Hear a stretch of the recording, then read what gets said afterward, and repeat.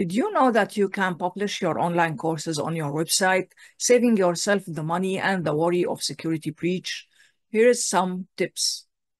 Choose the right online course plugin for you.